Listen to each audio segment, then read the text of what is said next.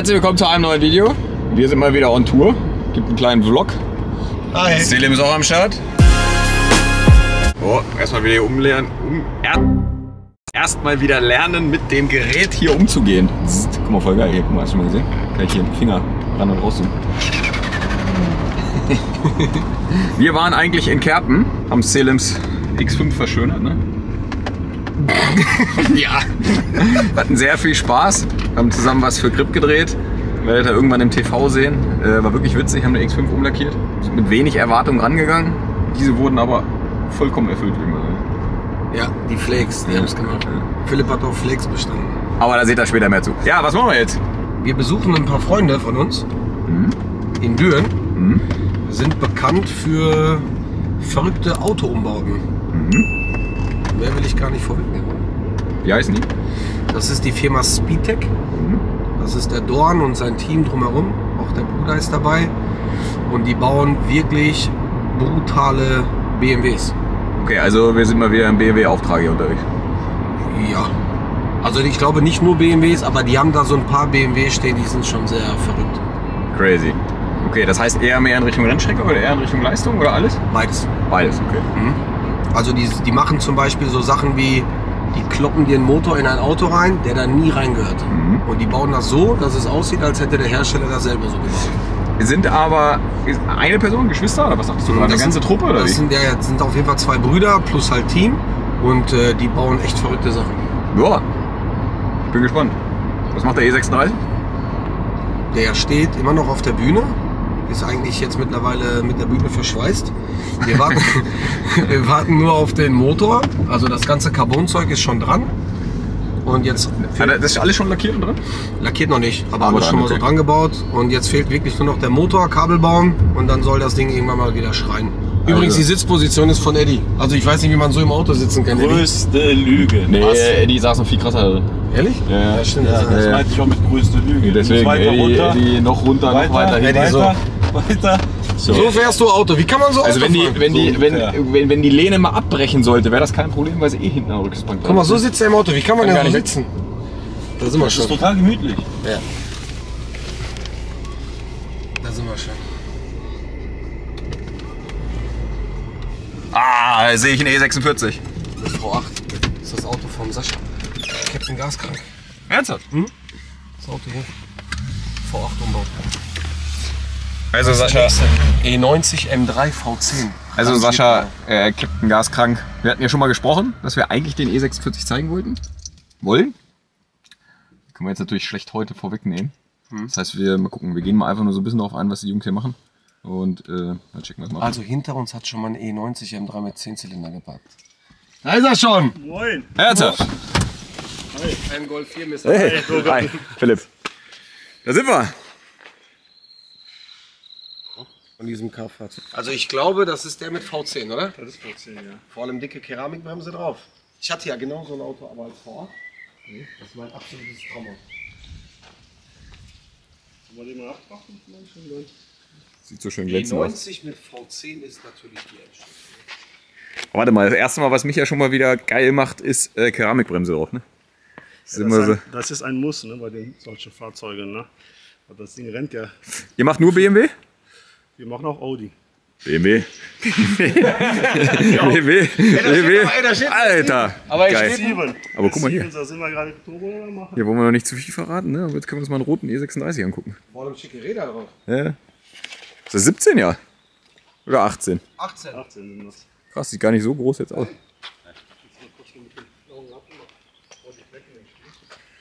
Okay. Also ich fasse nochmal zusammen.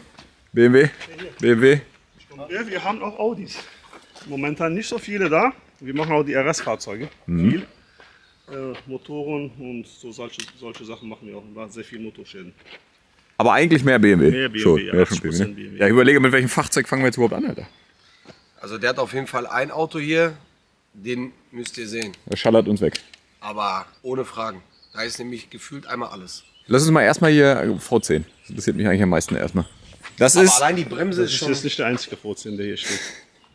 Jetzt hier draußen gerade? Hier in der Werkstatt sind noch einige andere. Ähm, Bremse ist M4 Keramik oder wie? Das ist M4 Keramik, wohl vorne sind äh, 410er Scheibe von M5 F, F10 drin. Die sind einen Ticken größer, die Zangen sind gleich. Geil. Für mich ist ja Keramik immer noch einfach das Schönste, was es gibt. Immer. Das bremst aber auch Ja. Macht ihr aber mehr nur so Umbauten, die geil sind oder auch Rennstrecke mehr hier? Weil das ist ja eigentlich hier so Rennstreckengegend, Wir ne? machen auch Rennstrecken-Umbauten. Da Ihr habt ja auch selber einen wir haben E92 selber einen V10, ne? E92 Ringtool, der ist äh, mehr oder weniger dieses Jahr jetzt Finale fertig geworden. Da sind noch ein paar Sachen, die wir machen müssen. Aber äh, erstmal fährt das Auto. Wir sind auch schon ein paar Runden gefahren. Mein Bruder ist ein paar Runden gefahren. So vorsichtig ist er schon 37er Zeit gefahren auf der Nordschleife damit. Aber der muss Aber man muss dazu sagen, V10-Technik drin. bisschen V10-Technik drin. Was, 7 Minuten 30?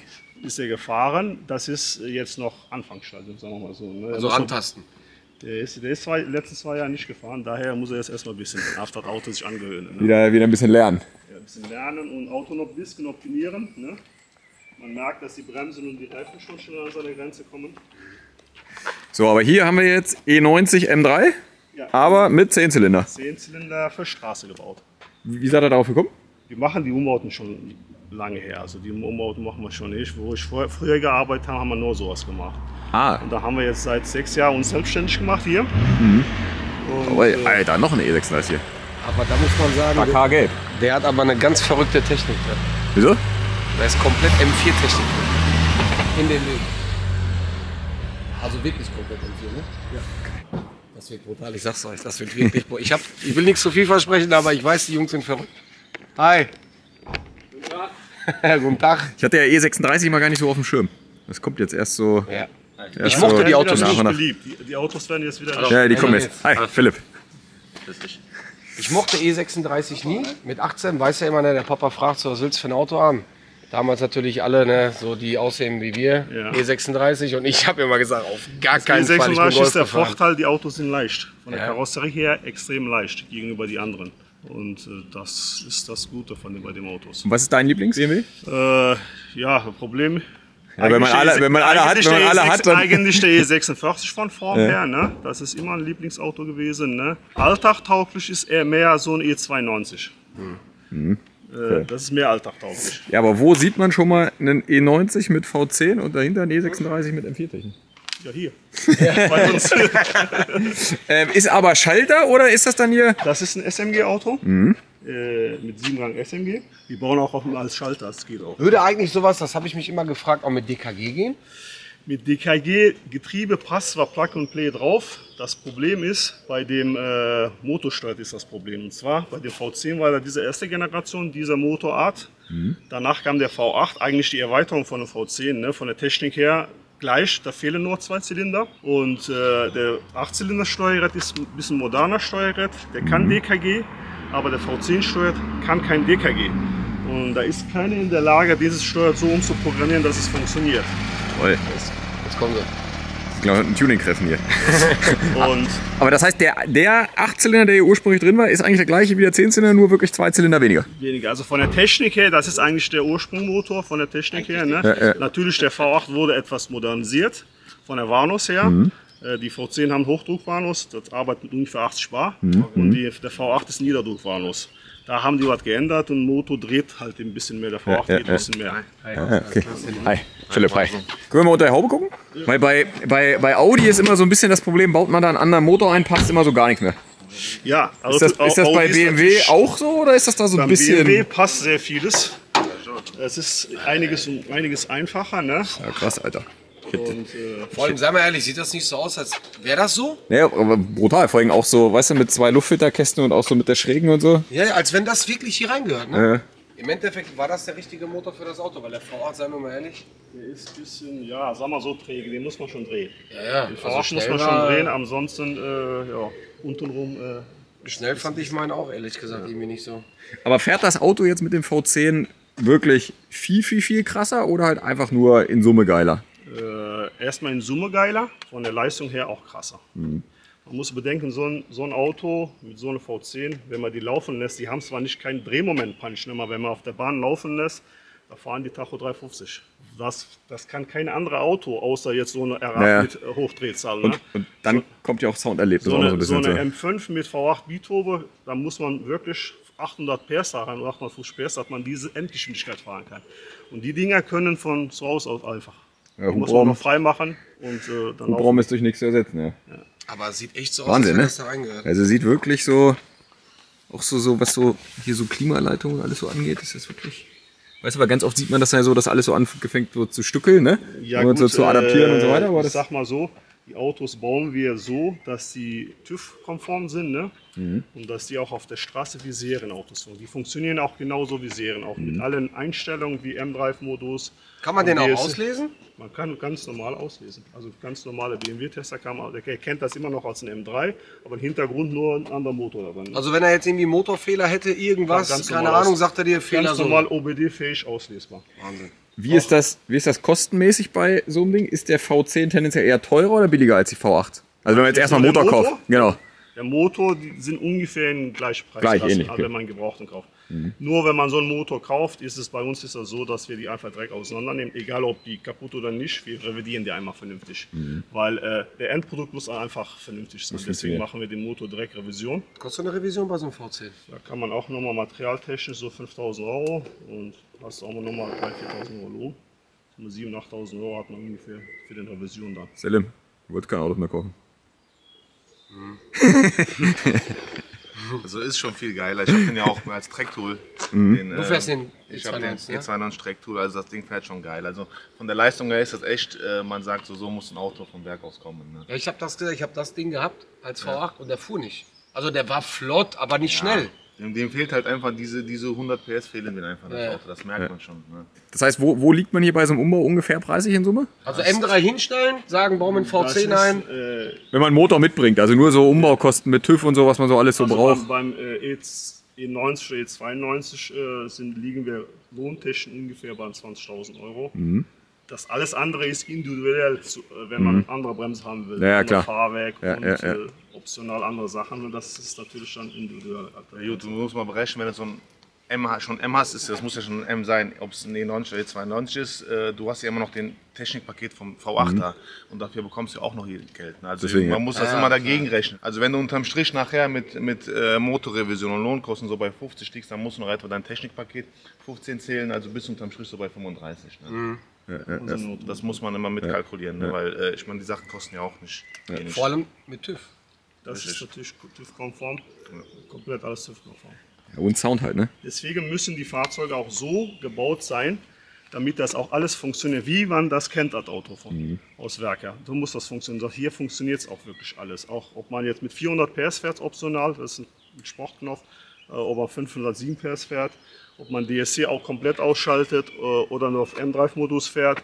Das funktioniert alles, das harmoniert. Das muss auch auf der Rennstrecke funktionieren, wenn man mal Rennstrecke fahren muss. Weil äh, wenn man so ein äh, SMG-Getriebe runterschaltet und äh, der man gibt kein Zwischengas, das ist genau das Problem. Viele, die DKG umgebaut sind, die kriegen mit dem Zwischengas nicht. Dann blockieren die Räder hinten, dann drehst du dich einmal. Ah. Das Ding muss Zwischengas geben. beim Verstehe, okay. Runterschalten. Ja, ja, ja.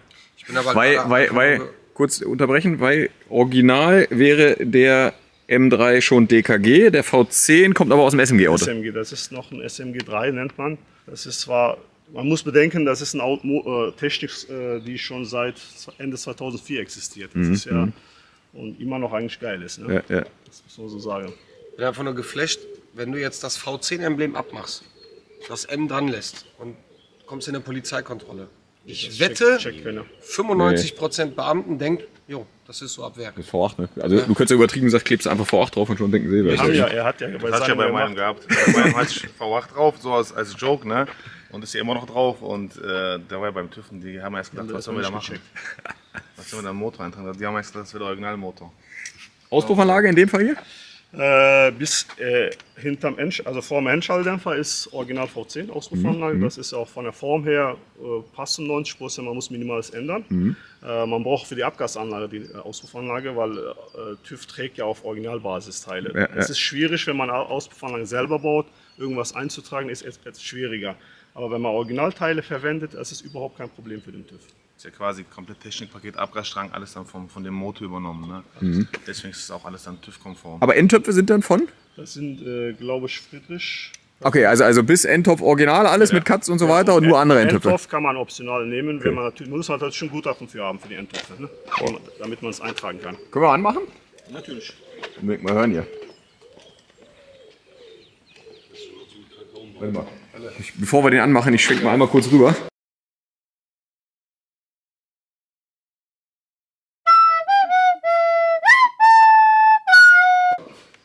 Nämlich gleich den nächsten V10 und der eine oder andere wird jetzt hier nämlich gerade die Scheinwerfer schon erkennen.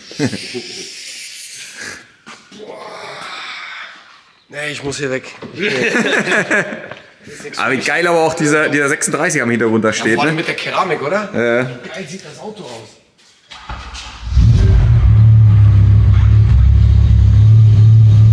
immer wieder krass, wie, wie der 10-Zylinder anders klingt als ein 8-Zylinder, ne? Hölle. Das Ding ist einfach, der, der klingt wie Godzilla. Ist eine Kaltbauphase drin. Was Ja, und dann kann man Gas geben. Muss auch ein bisschen Temperatur kriegen. Ja, aber das hier, Alter. Also die, die beiden werden ja noch Handschalter. Die beiden wollen ja als Handschalter, ne? Ja, aber ich glaube, Alter, V10 als Handschalter mehr geht dann auch nicht in Sachen Fahrspaß, oder? Ja, klar. Wir sind ja noch im Wilsterberg. Ich liebe das so, ich kann hier so ranzoomen, weißt du? Ich bin jetzt so ganz nah auf deinem Gesicht. Ja, aber ey, wie geil wäre das? Warte, ich kann in deinen Augen schon lesen. VC. E36. Ähm, Passt, wir, wir, fahren mal, wir fahren mal zusammen eine Runde auf einer Schleife. Ja. Ich glaube, dann bist du richtig geflasht. Kann man theoretisch V10 auch in E36 reinmachen? Ist das egal? Schon gemacht, nein, schon gemacht. Jetzt gibt eine Kompakt. Kompakt auch noch. 5,8 Liter Alter, was hast du für krasse Augen? Das habe ich wohl nicht hier gemacht. Das habe ich da gemacht. Was hat der für Augen? Ja. Also, also du dürftest auf jeden Fall nicht als Single in der Stadt rumlaufen. Dann hast du auf jeden Fall gewonnen und alle anderen verloren. er ist euer Wingman. Äh, wir haben so eine, aber das war ja, wo ich früher gearbeitet habe, haben wir einen Kompakt genommen, E36, äh, V10 reingemacht, sogar mit 5,8 Liter Hubraumerweiterung. Stroker. Es ist ja Stroker, ja. Äh, mit SMG, knapp 600 Fahrtsperre, haben wir schon mal sowas gemacht. Was das für ein krasser Vergleich sein müsste, du fährst dein 2 Liter oder so ein V10. Ja. Ich glaube, krasseren Unterschied gibt es ja nicht, ne? Ich glaube, die Achse fliegt raus. So im gleichen Auto so ungefähr, ne? Hölle. Ja, guck mal hier, alleine dein E46 und dann steckt hier so ein Monstermotor drin. Aber selbst da muss ich ja sagen, selbst das sieht jetzt, sieht jetzt noch nicht so aus. Klar, fehlt natürlich noch Plastik und oben alles rum, ne? Wenn man das noch alles passend schön macht, dann sieht das jetzt ja auch nicht so aus, als wenn das hier auf gar keinen Fall drin gewesen ist, ne? Der Motor steht schön da drin. Ja. Boah. ja. Wobei dein Motor, der Originalmotor, ist ja sogar tendenziell länger. Hat ja ein Zylinder nach vorne mehr. Der, der, der, der ist 54 kommt ungefähr bis hier, so ungefähr bis hier. Dadurch der Zylinder ja länger ist auf der Bank, ne, Mhm. äh, dann geht der auch länger. Wir haben auch hier ein Schaltgetriebe, deswegen Der habe ich den Motor ja versucht, möglichst nach hinten zu positionieren. Mhm. So, so. Aber mit Schalter V10, das muss doch gehen wie der Teufel. Schon krass eng alles, aber geil. E46 fährt Ah. äh, V10. Also sorry, dass wir hier so ein bisschen in den Themen springen, ne? aber so ein bisschen emotionale Ja, Überlastung hier. Ne? Reizüberflutung gerade. weil, weil wo sieht man wirklich mal im Hintergrund ein V10, E46 und wenn man ehrlich ist, ist das ja eigentlich genau so ein Auto, wie ich es ursprünglich mal gebaut hätte. Ne? Eigentlich eher große Räder, fette Keramik drauf ne? und noch so ein bisschen... Aber mich wundert das gerade, dass die Bremse Boah. Und das Ding ist wirklich mal ganz geil. Ne? Das ist so von den ganzen Umbauten her, man kennt ja vieles so, ne? V10 und so, aber das Ding ist Vor nochmal allem- Oberstufe. Hammerhart, ihr habt sogar Tacho und alles mit umgebaut. Vor allem das Geile ist, Sogar jeder Zeitdrive oder wie das Ding sich dann nennt. das Geile ist, du kannst die ganzen Funktionen von dem Motor und so kannst du über die Knöpfe vom E36 bedienen. Das funktioniert auch alles. Sportlos, ESP und alles kannst du. Das ist so richtig. Äh, Junge, sollen wir heute hier acht Videos machen oder wie? Wenn wir mal geflecht sind, seien wir ehrlich, wann sind wir geflecht? Dein Gesicht in der Sonne hier so nah rangezoomt. Nein, aber ich will jetzt nicht rumschleimen, ne? aber wann sind wir mal geflecht, wenn wir irgendwo hinkommen? Ja, ja, nee, schon geil. Vor allem halt von der Vielfalt, ne? Weil, weil am Motorswap hin oder her ist ja dann doch bei jedem Auto immer noch mal wieder was Neues, ne? Vor allem wie geil dieser Innenraum auch ist, ne? Ich mag das ja, wenn so Autos so bis zu Ende gebaut sind und nicht einfach so die Hälfte dann irgendwie fehlt, weil nach dem Motto, jetzt läuft das Auto, jetzt scheißegal so, ne? Ja, nee, wir, Hey Sascha, Hier haben wir es zwar noch nicht Finale. Ne? Wir haben jetzt äh, so gebaut, dass das alles erstmal funktioniert. Und äh, TÜV ist auch gemacht worden, ist alles eingetragen. Und ich denke mal, später werden wir da oder hier ein bisschen mehr Leistung reinhauen. Weil das haben wir ja eigentlich nicht gebaut, nur um 430 PS zu fahren. Aber ganz ehrlich, aber- 430 PS in dem Auto, die reichen. Ja, aber guck dir mal alleine an, wie geil dieser. Äh, was uns ver sehr verwundert hat, ich weiß jetzt auch noch nicht, warum das so ist, das Auto hat eine Mördertraktion. Der geht fast wie ein Allrad nach vorne. Der hat dreht gar kein Gerät. Ja gut, ihr fahrt jetzt 19 Zoll. Ja. Mit, mit Originalmotor hat er diese Traktion nicht gehabt.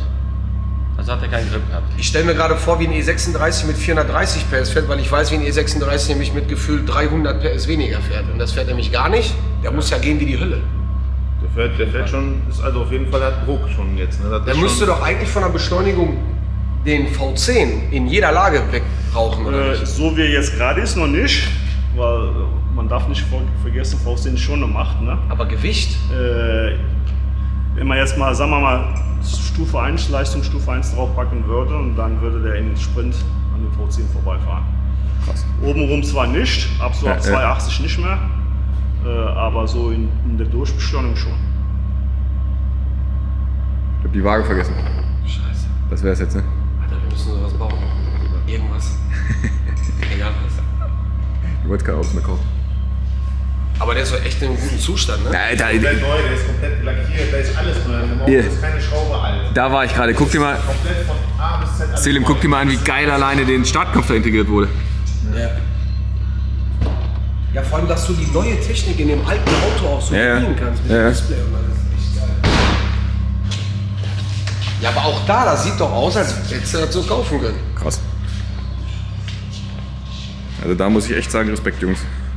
Weißt du, weil ganz, Das ist noch nicht finale Ende. Ne? Nee, aber ganz oft sieht man dann ja, dass halt irgendwie die Hälfte am Ende weggelassen wird, weil halt einfach kein, kein Platz, kein Bock, wie auch immer, ne? Aber noch hier, die Luftführung werden hier auch hier gemacht. Äh, hier werden wir noch Abdeckungen machen, damit man das jetzt nicht so sieht. Beim E36 sieht das immer komisch aus. Ich werde dann noch Carbonabdeckung hier reinmachen. Schöne Carbonabdeckung. Ein bisschen Schönheit arbeiten werden wir noch machen. Aber jetzt nochmal für die Zuschauer, E E36 M3 mit M4-Technik, S55. Handschalter. Handschalter. Das wäre nämlich jetzt mal die nächste Frage gewesen. Geil. Das ist ja so ein bisschen wie der Sepp jetzt gerade bauen will, ähm, mit S55, auch als Handschalter. Das heißt, das ist dann auch S55 Getriebe passend dazu? Äh, ja, ja, genau. Von einem M4 das Schaltgetriebe ist da drin. Äh, wir hätten auch als DKG bauen können, Mhm. was auch gar kein Problem ist. Aber ich finde, so eine E36 als Handschalter ist passt Mhm. besser. Wie ist das, wenn man den als DKG baut, mit alles so Sensorik, Das ABS, ist gar kein Problem. Lenkwinkel-Sensor, kriegt man alles raus oder Ja. muss alles mit rein? Nee, muss alles mit rein. Das ist ja auch der Kunst. Ne? Erstmal TÜV-technisch ist das ja wichtig. Man baut so ein Auto mit nachher 500, 600 PS. Ne? Dann ist das nicht handelbar für, nur, für Leute, die nicht so gut fahren können. Äh, deswegen müssen wir auch TÜV-technisch diese ganzen Sensoren mit übernehmen. ABS, originaler M4 ABS ist da drin, dass man abschalten kann, dass man mit M-Drive-Modus fahren kann, dass das Auto auch richtig sicher fährt. Ja, ja. Darum geht es ja hier. Und äh, keine Motorsteuer, also die, es ist ja auch schwierig, so einen Motorsteuer so zu programmieren, dass der auch ohne diese Sensorik äh, läuft. Das ist auch das grundlegende Problem, wo, viel, wo ich immer viel sehe, die Türner, die so einen Umbau machen und dann fahren die Autos nicht richtig. Man muss, am besten läuft es immer noch auf Originalbasis aufbauen. ja. Keiner Mit baut besser wie BMW. ja, man muss sagen, keiner kann dieses Technik besser bauen wie BMW. Also übernehmen wir das Technik von BMW und bauen Ja, da ja. rein, so dass das funktioniert. Und deswegen funktionieren die Auto Alltag ganz normal. Auf der Rennstrecke funktionieren die. In jeder Lage funktionieren die Autos. Aber muss man wirklich sagen, ist schon so, so ein bisschen Traumauto, so wie er hier steht, ne?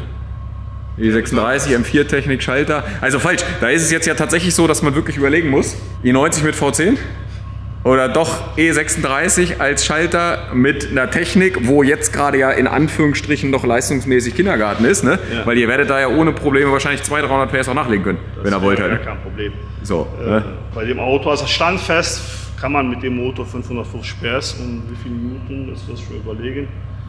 Ich glaube 650 Minuten. Das kann man standfest fahren. Mit Original Turbos, mit originaler Motor kann man standfest fahren. Das funktioniert. Selim, Es geht natürlich noch mehr. Ne? ich freue mich schon auf die Rückfahrt, auf deine Gedanken. So. Direkt beide. Und 10 im Alltag und eben im Samstag. Vor allem äh, bei dem Wagen ist so, der ist auch ein Fahrer, der kann das, kann das auch umsetzen alles. Also das funktioniert, und das Ding fährt auch richtig. Ne? Das Ding sieht brutal aus. Also ich bin wirklich Der sprachlos. ist, der ist einfach nur schön. Vor allem mit allem jetzt. Ja, also das ist wirklich seit langem mal wieder ein Auto, wo man vorsteht und wirklich schon so denkt, ist schon annähernd perfekt. So auch so jetzt nicht irgendwie so so endprollige Räder oder sowas drauf mit den BBS, passend auch so zeitgenössisch von damals, weil das war ja so ein bisschen die Zeit, wo man so Räder verdichtet hat, ne? So, Aber hättest du gedacht, dass 19 Zoll so schick unterm E36 sitzen können? Im Leben nicht. wir haben ja gerade noch drüber gesprochen, ob 17 oder 18 beim E36, ne? Und da hieß es ja schon immer, 18 ist eigentlich schon zu groß. Und vor allem, die haben wirklich auch ausreichend Reifenquerschnitt. Ja, ne? ja. Ist ja jetzt nicht so ein flachgezogenes das ist ja Gummi. Also ich glaube, wenn du mit dem Auto auf dem BMW-Treffen fährst, müssen schon wirklich viele Autos, die denken, die hätten ein gutes Auto gebaut, Gleich kommt noch ein Wagen und der ist noch, noch mal eine Stufe. Äh, gibt noch mal eine Steigerung. Ist das der? Der, Ja. ist, der ist noch mal eine Stufe heftiger. Das Monster. Also so, wie- so wie geil der hier gebaut ist, ist der mindestens genauso geil, wenn nicht sogar noch geiler gebaut. Das Auto einfach ein Gesamtkonzept. Es ist ja nicht nur der Motor, sondern einfach das Gesamtkonzept. Man muss aber dazu sagen, das Auto, was gleich kommt, Ja. der ist ja so perfekt gebaut, den haben sich ja eigentlich alle BMW-Fans gewünscht. BMW hat ihn aber nie gebaut und ihr habt es einfach umgesetzt. Also das Auto gibt es nur einmal. One of one. Ja. So wie es halt auch den hier nur einmal gibt. Nein, nein, aber, Und den einmal. Und den einmal. nein, aber das Auto. Die, die, die gibt es nicht einmal. Also als Schalter jetzt einmal, aber E46 V10. Ja, aber was ich damit Ja, aber gibt, gibt, es, gibt es E36 M4 als Schalter schon? Nein, kein, das ist der einzige. Ja, das ist auch der einzige. Ja, aber das Auto, was gleich kommt, gibt es als Karosserie auch so nicht. Ah, okay, verstehe. Das meine ich damit. Also das Ganze. Wir bauen noch so einen Zwilling da oben. Der, ist, der wird annähernd. Ja, ja, aber noch nicht. Noch nicht, nein. Weil das Auto, was du gleich sehen wirst, du wirst dich fragen, was ist das für eine Baureihe? Und die gibt es nicht. Ja, also wir können jetzt hier schlecht jedes Auto Probe fahren heute. Ich finde auch die Autos sind alle zu gut gebaut, um das jetzt Solarifari hier mit der Blockkamera vorzustellen. Also da müssen wir auf jeden Fall nochmal intensiv detailliert über alle Autos sprechen. Da könnt ihr jede, jede Menge Content auf jeden Genau, Fall freuen. Autos noch mal richtig Probefahrt machen. Äh, Dass die auch mal mit den Autos mal selber fährt. Ne? Also sind wirklich alle Autos 100% fahrbereit bei euch. Also direkt 100% rein, los. Außer jetzt die hier, die sind noch in Bauphase. Ja, ja klar, wenn die noch nicht fertig sind, Der dann... ist äh, fahrfertig, der ist fahrfertig. Ja, der ist ja auch fahrfertig. Genau, da wollten wir eh auch eigentlich mal drüber berichten. Ich sehe jetzt zum allerersten Mal live diese, diese GTR-Kotflügel. Schon krass aus. Oder die heißen GTR, ne? Das ist dann. Das heißt, ja, GTR ist glaube ich noch ein bisschen breiter, aber es ist ein GTR.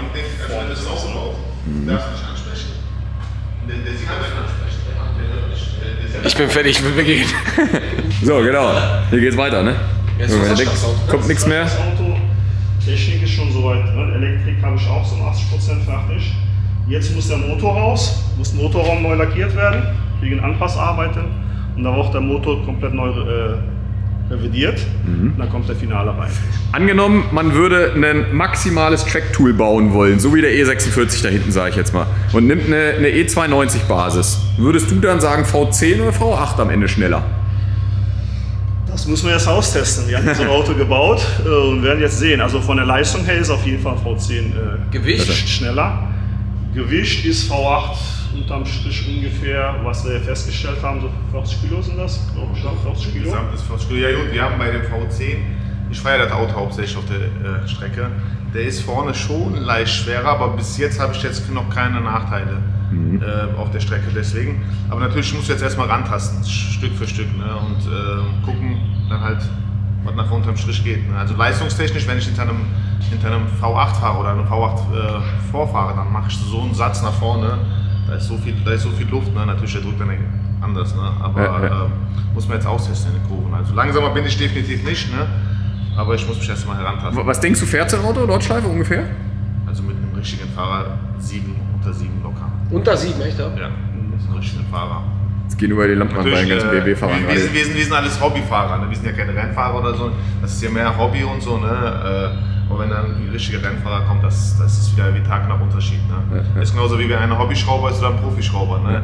Der macht da die Arbeit wahrscheinlich äh, drei oder viermal so schnell an. Ne? Ja, ja, der andere baut halt einen V10 so ein.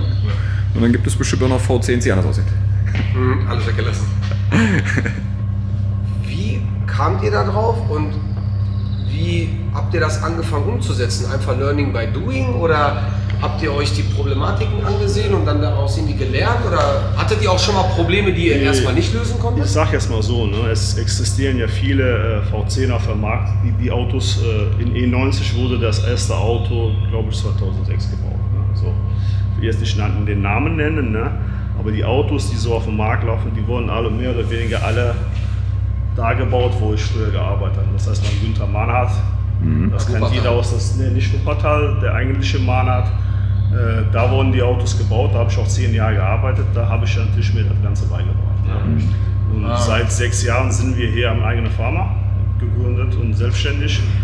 Und, und wir machen die, die Umbauten mehr oder weniger als nebenher. Und unser Hauptgeschäft ist Motoreninstandsetzung und allgemeine Reparatur bei äh, solchen Fahrzeugen, also BMW R-Fahrzeuge meistens und äh, Audi RS-Fahrzeuge, S-Fahrzeuge machen wir auch.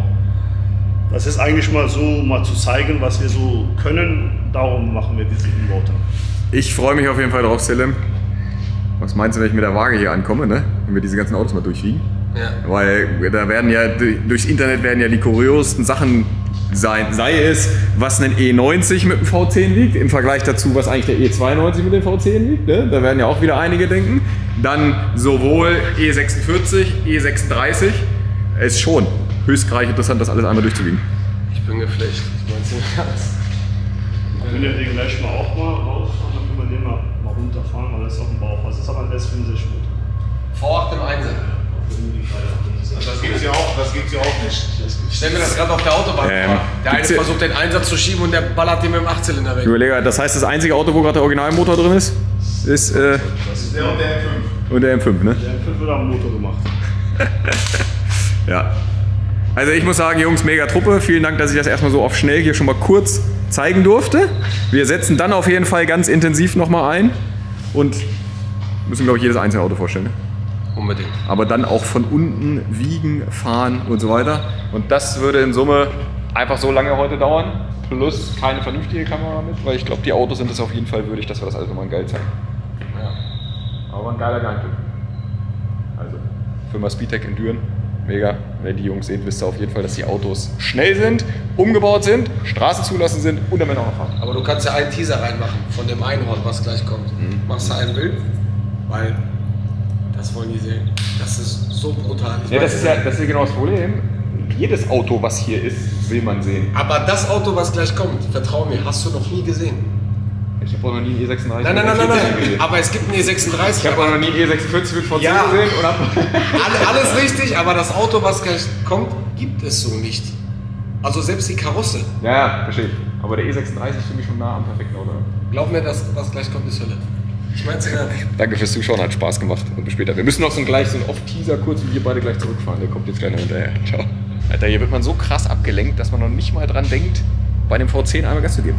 Da wird die Sound glatt Nebensache hier. Der Sound, sorry.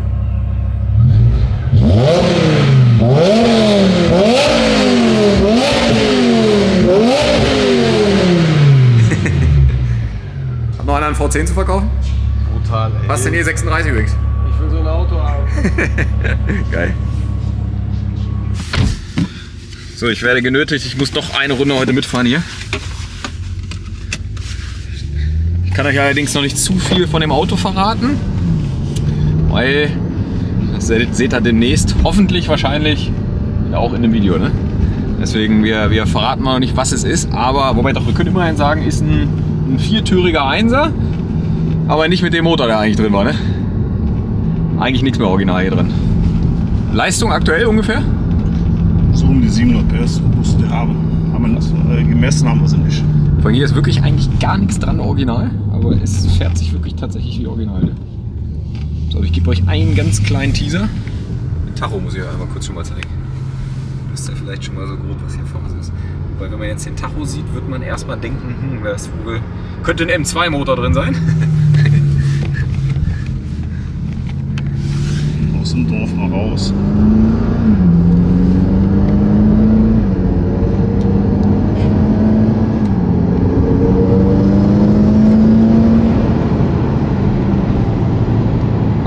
Reise, ne? finde ich sogar noch. Ne? Ja, wenn man Gas gibt, kommt. es. Ja, nee, aber jetzt so einfach nur so vom Rollen ist, her. Rollen her ist einfach ja. voll in originaler Voll entspannt, ne? Voll entspannt. Geil.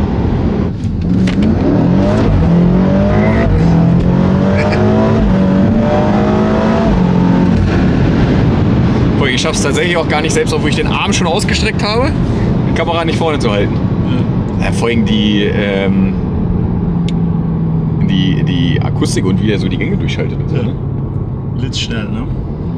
Krass. Allem wirklich ohne Das Auto hat jegliches. ja eigentlich noch so viel Potenzial von der Leistung technisch, dass er problemlos umsetzt. dass das ist jetzt gerade alles noch so Kindergarten-Warm-up so ungefähr ja, ja, ist. Ne? eigentlich ist er noch im Kindergartenbereich das Ganze gerade. Aber das soll ja ein Straßenauto sein, können Kopfschmerzen Ja, ja, machen. ja. Auch nicht äh, mit Polizei und sowas. Wollen wir auch nicht. Ja, ja. Ja. Darum geht es hier einfach. Klingt auch geil. Weil es ist jetzt nicht so ein lautes Auspuffgeräusch, ne, sondern ist noch, ist noch so ein richtig kraftvolles Geräusch hier drin einfach nur. Ja.